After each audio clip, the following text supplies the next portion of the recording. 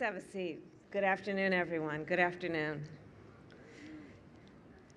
President Joe Biden, members of Congress, members of our administration, friends, and fellow Americans. When gunfire rings out in a community, it brings fear and it brings pain to the victims, to those who love them, to the parents who tell their children to run into the bathtub when they hear gunfire on the street outside, because it is the safest place in the home from a stray bullet. Gun violence brings pain to the entire community, and by extension, to the whole of society. As a prosecutor, I brought many perpetrators of gun violence to justice. But I knew, even after a successful prosecution, the hurt and the loss and the fear often still remained. To the survivors of gun violence who are here with us today, and to the friends and family members of those we have lost, I thank you for your incredible determination in the face of so much pain. And it is a deep honor to stand with you today. As we know all too well, our nation continues to be plagued by an epidemic of gun violence. The President has worked for decades to end this terror. For my whole career, addressing gun violence has been one of my top priorities, first as a courtroom prosecutor, then as the elected district attorney of San Francisco when we created a gun specialist unit to go after violent offenders, then as attorney general of California, where we worked within our California Bureau of Firearms to investigate and seize firearms for those who unlawfully possess them.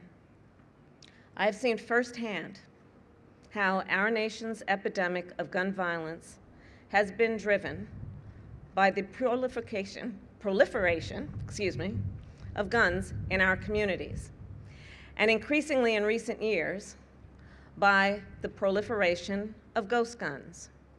Ghost guns can be purchased on the internet and assembled at a kitchen table.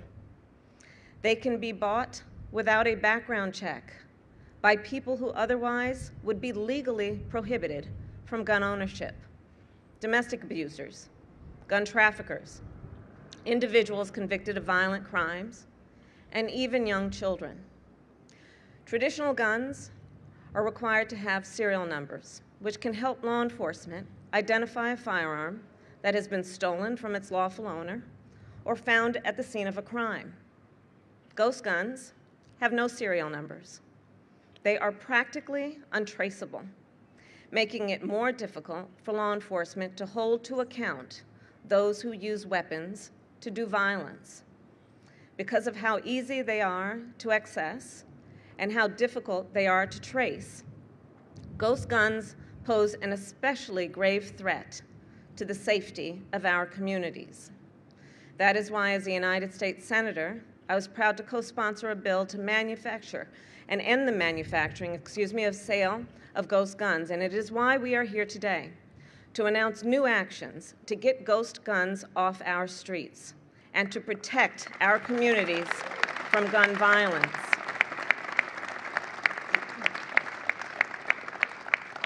The Department of Justice plays a critical role in addressing gun violence in our communities, and the actions we are taking today would not be possible without their partnership. So I'm proud to now welcome a leader who has spearheaded much of the department's work on this important issue, Deputy Attorney General Lisa Monaco.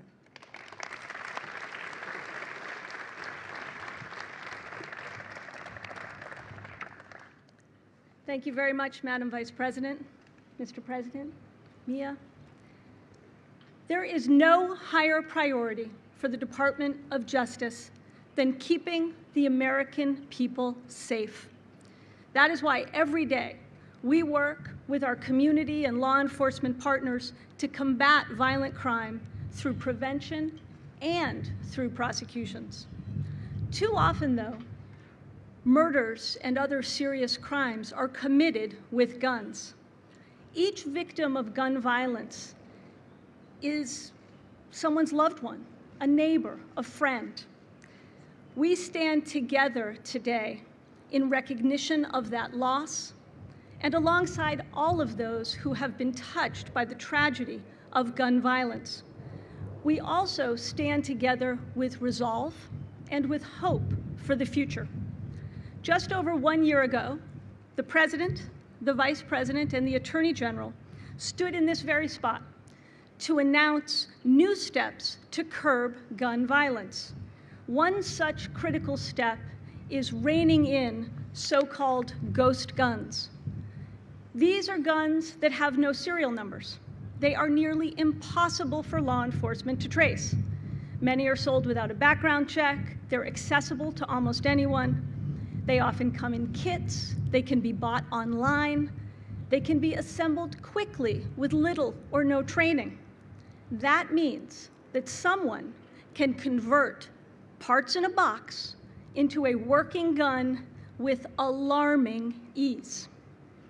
Now, we call them ghost guns because they can't be traced. But make no mistake, they are real. They can shoot to kill, and they do. For years, criminals have sought out these unmarked guns to murder and to maim. That's why the Attorney General has signed a rule that updates our regulations to keep up with changes in technology. The goal? To keep untraceable guns off of the streets, out of the hands of criminals and others who are prohibited by law from possessing a firearm. Some of the key changes include updating old definitions to ensure that gun laws apply to all firearms, including ghost guns requiring gun dealers to run background checks on kits containing parts that can readily be converted into a gun, facilitating tracing by requiring firearms dealers to apply serial numbers to existing ghost guns so that they then take into inventory. Because of these updates, law enforcement will have additional crime gun intelligence to stop gun violence to seek justice for victims of violent crimes, and to get guns used in crimes off of our streets. Today's announcement is one of many efforts by the Department of Justice to protect our communities from violent crime and gun violence. We continue to go after and disrupt illegal gun trafficking networks we continue to go after and hold accountable the most violent offenders. And we are working every day with our partners in law enforcement and with community leaders to craft specific strategies to combat violent crime and keep communities safe. We will not stop until we reduce violent crime and save lives. As the Attorney General has said, the department will continue to, to apply every single tool at our disposal to fulfill that obligation. And now it is my great honor to introduce Mia Tretta, an inspiring young woman whose story illustrates why we're here today and why these actions are so important. Thank you.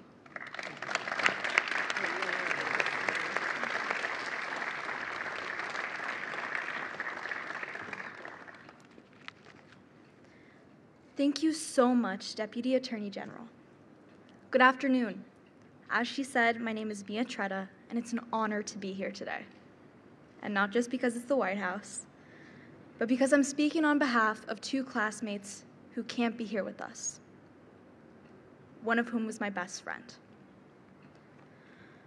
When I woke up on November 14th, 2019, my biggest worry of the day was a Spanish test. I was a freshman at Saugus High School in Santa Clarita, California, determined to get good grades. So as soon as I got to school, I made a beeline for the quad to meet up with my best friend, Dominic Blackwell. It's hard for me to talk about Dominic. Like me, Dominic had big dreams, like doing well in school and planning for our futures. We spent the morning like any other, laughing, talking, until we heard a loud pop. It was a gunshot, followed by six more. One of the bullets hit me in the stomach. Somehow, I was able to get up and run away, but Dominic couldn't. I was airlifted to the hospital and spent hours in surgery having a bullet removed from my abdomen that was millimeters away from my major artery. Then my parents told me the terrible truth. Dominic had died, and so had another classmate, Gracie Anne Muehlberger, a 15 year old girl with an infectious laugh. And a community was left shattered. I later learned that we had been shot by a 16 year old student for reasons I will never know. He had brought his father's weapon to school, a firearm I would come to know as a ghost gun. Ghost guns are untraceable, build it yourself firearms that look like a gun, shoot like a gun, and kill like a gun, but have not been regulated like a gun. I've also learned that as a student, I don't just have to worry about Spanish tests, but about my life. School shootings with ghost guns are on the rise. And the most lasting thing I have learned, other than the loss of friends or the shattering of my youth, is that nothing has that nothing has relieved the pain in my heart like working to prevent more senseless shootings. So my family and I joined Everytown for Gun Safety, Moms Demand Action, and Students Demand Action. And we worked with thousands of other young activists and survivors to prevent more things like this happening. They turned my pain into progress. And that's why we're here today, celebrating progress, life saving progress.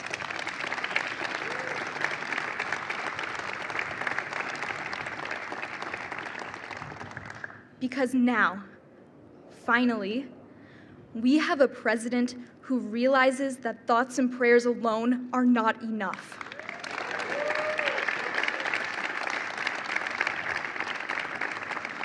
A president who has been standing up to the gun lobby for decades and winning.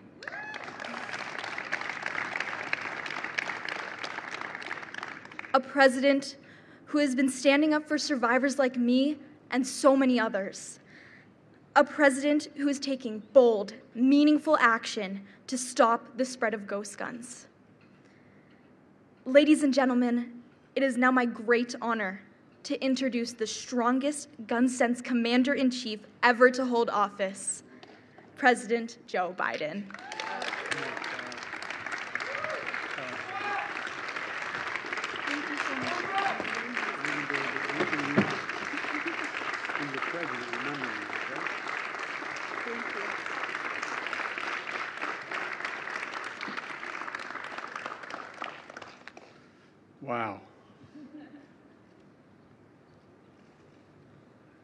Thank you, Madam Vice President, Deputy Attorney General Monaco. And Mia, you're an incredible young woman. We spoke for a moment inside the Oval Office, and uh, a lot of people here who have lost someone, and too many here have lost someone, know that uh, no matter what the occasion, how celebratory or not it is, when you have to repeat it, you relive it like it just happened a moment ago. Your poise, your confidence, and your intellect are really impressive, honey. I mean, they really are. And you know, uh, I think most people here can tell you've gone through serious loss. That uh, the best way to deal with it is find purpose, and you found real purpose, and uh, you are impressive. And thank you for sharing your strength, for helping us remember your friend Dominic Blackwell and Gracie Muehlberger. You know, uh, Dominic and Gracie's parents are with us today. Are you prepared to stand up? If I don't want to embarrass you, but would you stand up?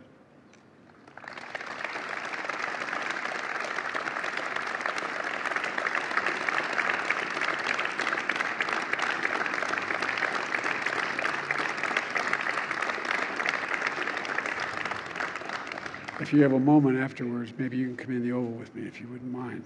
I'd love to talk to you. Frank and Nancy, uh, Brian and Cindy, everyone here, as they say, feels your pain a little bit, particularly if they've uh, suffered a serious loss. You've now joined a terrible fellowship of loss that many people have experienced. There are too many survivors and advocates here for me to name everyone today, but let me say the loss in this crowd is incalculable. But so is the strength. So is the strength. I believe our nation will be safer for your bravery, and I really mean that. Survivors like me and Manny and Claudia, Los Angeles Deputy Sheriff who survived an ambush by a shooter with a ghost gun, represent individuals and families all across this country whose lives have been forever changed by a ghost gun. Some made national headlines, many others did not. Today, we honor your strength and your action. A year ago this week, standing here with many of you, I instructed the Attorney General to write a regulation that would rein in the proliferation of ghost guns because I was having trouble getting anything passed in the Congress. But I used what we call regulatory authority. A year later, we're here, we keep that promise. The gun lobby tried to tie up the regulators and paperwork for a long, long time. The NRA called this rule I'm about to announce extreme. extreme.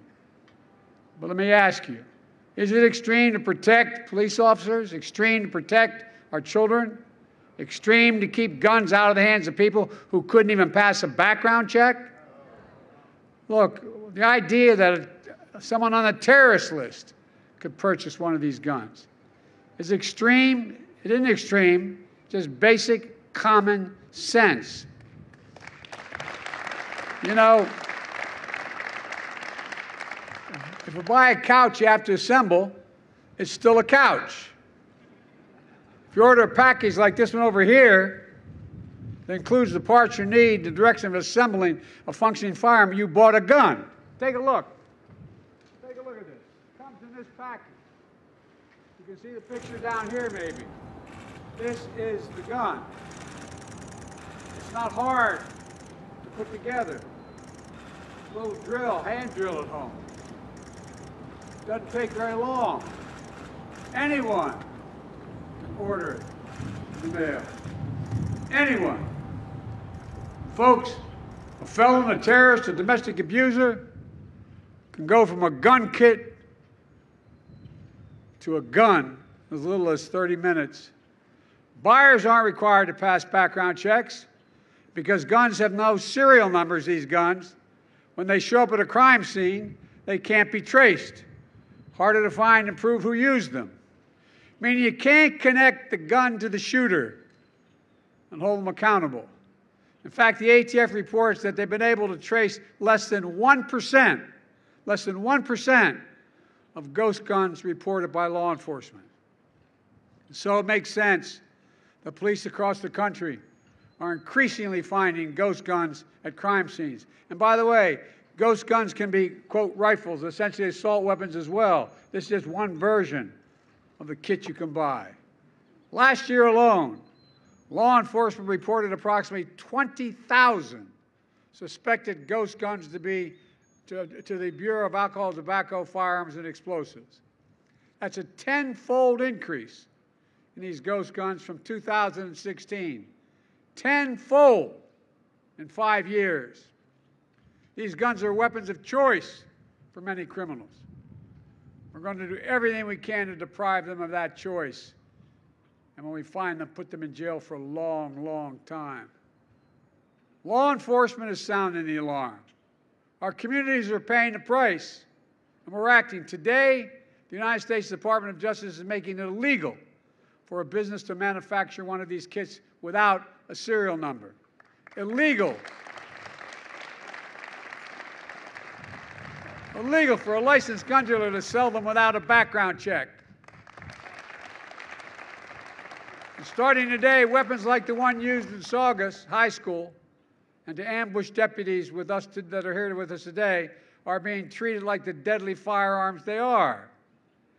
And if somebody sells a ghost gun to a federally licensed dealer, for example, a pawn shop, that dealer must make the firearm and mark it with a serial number before reselling it. All of a sudden, it's no longer a ghost. It has a return address. It's going to help save lives, reduce crime, and get more criminals off the streets. And this rule is only part of our strategy to go after ghost guns. In February, the Department of Justice launched a, nation, a national gun, ghost gun enforcement initiative, intensifying our efforts to bring cases against those who use ghost guns illegally. We're teaching investigators and prosecutors best practices, how to build these cases, and assigning a coordinator in each of the ATF field divisions to serve as a point person for helping federal, state, and local law enforcement go after ghost guns. If you commit a crime with a ghost gun, expect federal prosecution. Not just state, expect federal prosecution.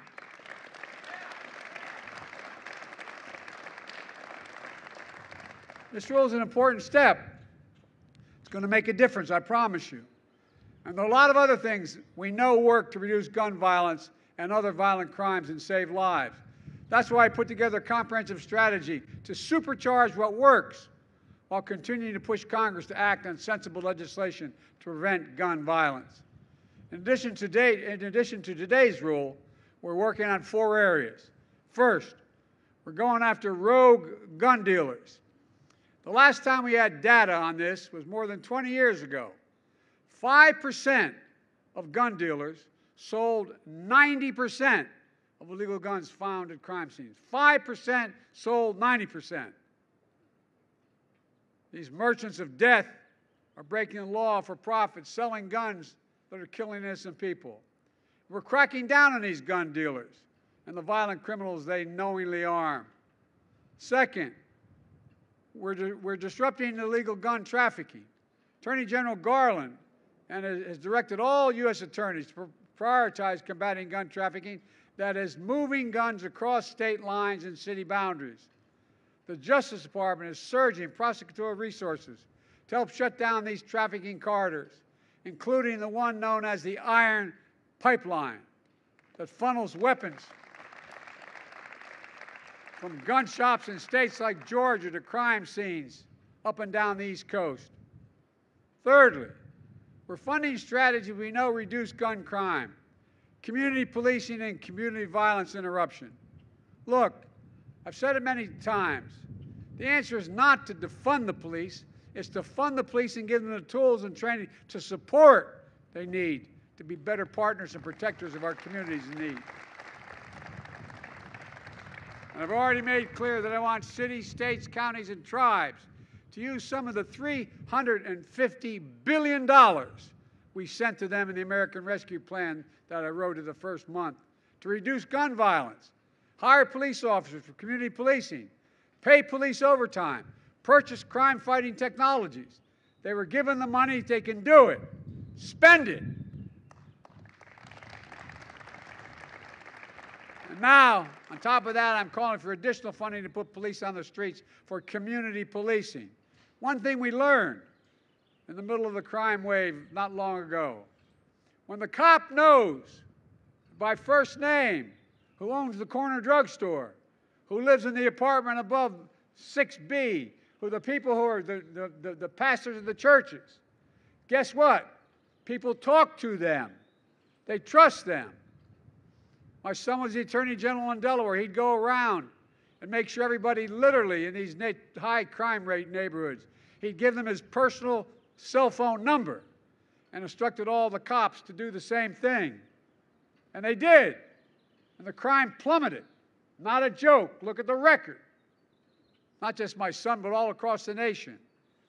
And for the ATF to hire agents, they need to help to fight gun crime, more agents. My budget funds body cameras, make sure police work with our local communities and are accountable to the local communities. We're also investing in community violence intervention. These are areas of local programs that utilize trusted messengers, community members, and leaders to work directly with people who are the most likely to commit a gun crime or become victims of gun crime. Get to them early. It works.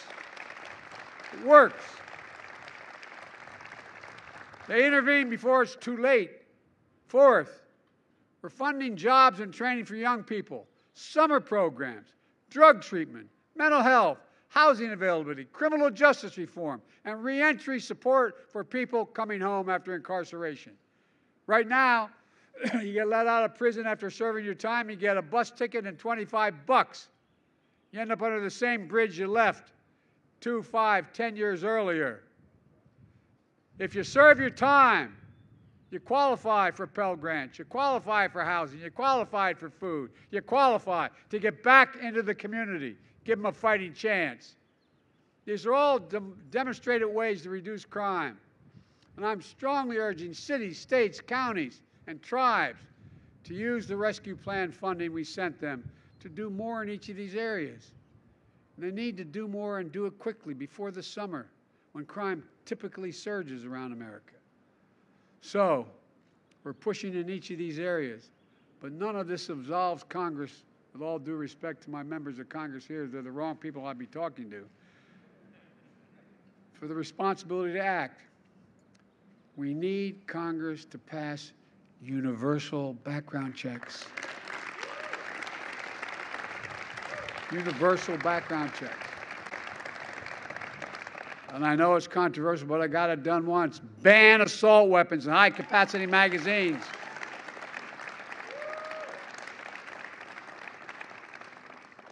I was getting criticized when I first passed this law when I was a senator. And guess what? I was down in southern Delaware, do a lot of hunting and fishing down there.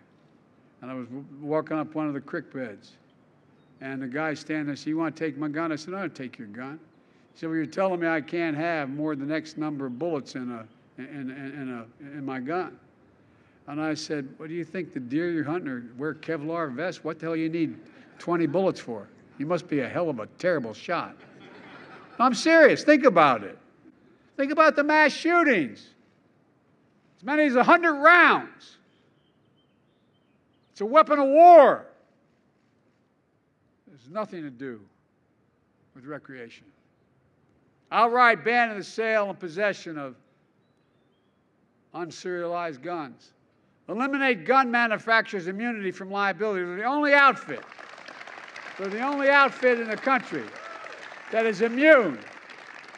Imagine had the tobacco industry been immune to prostitute being sued. Come on. In February, the families of nine of the Sandy Hook shooting victims achieved a settlement against the maker of guns that was used to kill their children. The Sandy, Sandy Hook folks are here. Are you embarrassed to ask you to stand up?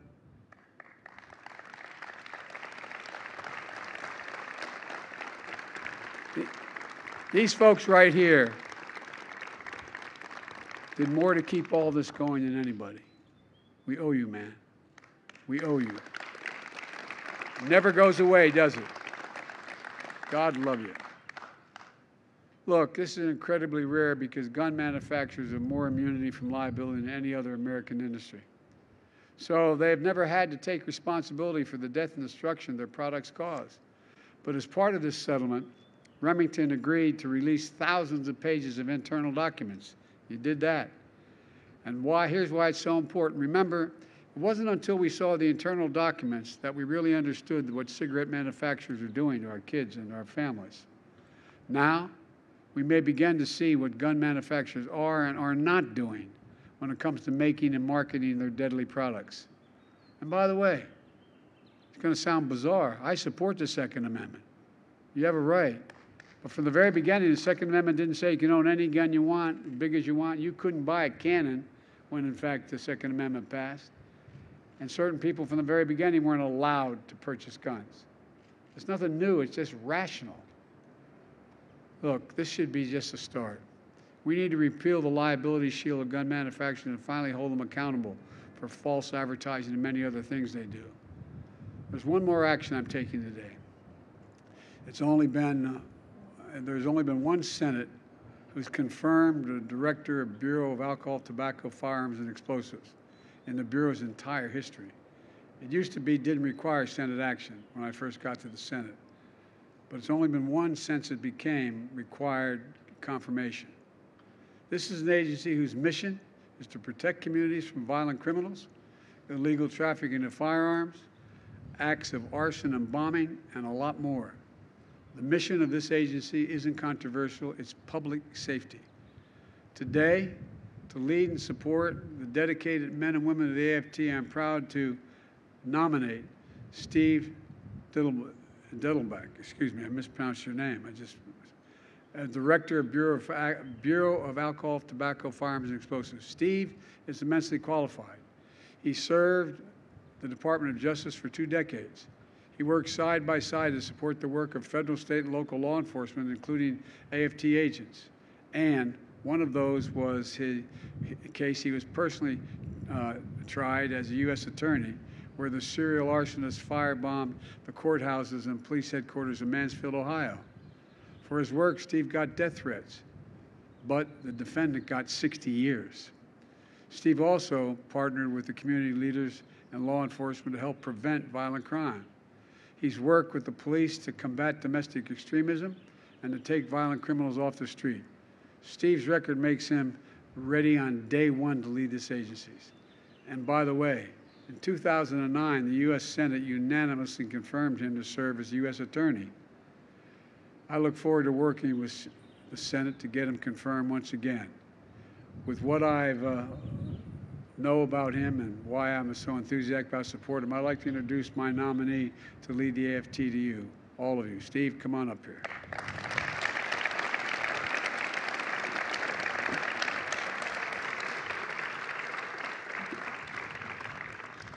I'll this off. Thank you, Mr. Thank you, buddy. I'm just going to stand over here.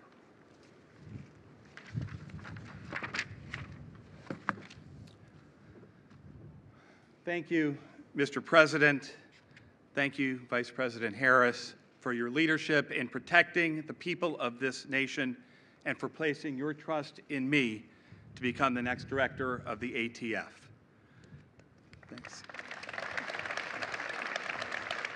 Thank, thank you also, uh, Deputy Attorney General Monaco, for all that you and Attorney General Garland continue to do at DOJ to make our nation safer. And thank you, Mia, for your incredible inspiration and courage, not just here today, but all over this nation. Thank you. Uh, I also want to thank my incredible, supportive, and often patient family who are here. Uh, my wonderful wife, Carol, uh, and my children, Allie and David, please.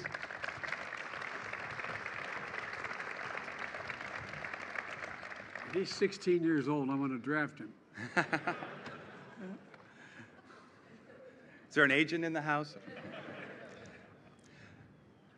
But seriously, more, most especially today, I want to thank the men and women of the ATF. You know, I started as a career prosecutor back in 1992, and I have spent three decades watching and admiring agents and staff at the ATF, along with its federal, state, and local law enforcement partners, as they work tirelessly and courageously to protect the American people. I would also say they work in anonymity, but that would not be completely true. Because sadly, one thing I've also seen over the years is that the ATF often does work in anonymity when its agents are out there risking their lives to protect us, only to be thrust into the public eye when it's time for criticism. You know, law enforcement is a very tough job, and no person and no agency is perfect. But the president is right. The men and women of the ATF and the public that they protect deserve better support from us.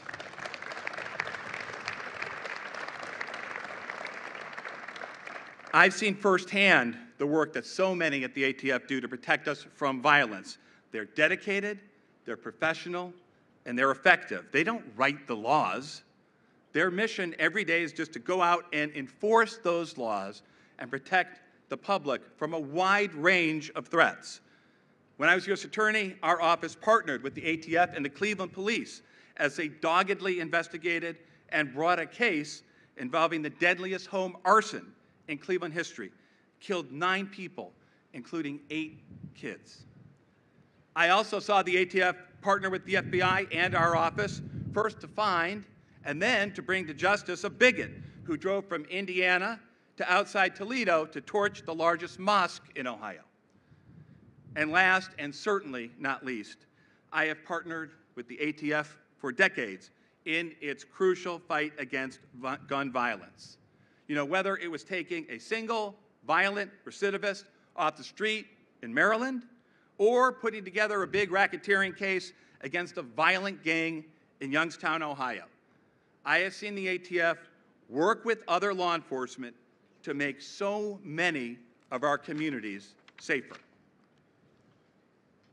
As we emerge from this pandemic, we've got to recognize that many Americans still face fear and isolation, not because of a virus, but because of an epidemic of firearms violence. It's not a new problem, and it has many causes. That's why it's going to take an all hands on deck partnership approach to address that issue. And the ATF will be there.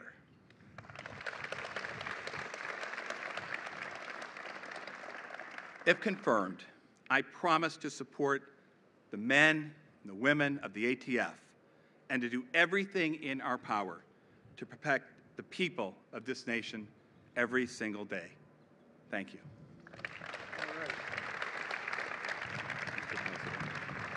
Good job. Thank you, Mr. President. Thank you all for coming. By the way, he was responsible for the weather as well. Thank you, thank you, thank you.